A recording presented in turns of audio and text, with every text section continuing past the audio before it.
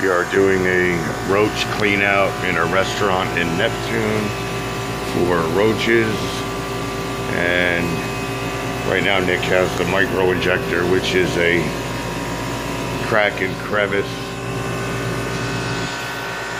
machine that gets into deep harborage areas in the cracks and crevices.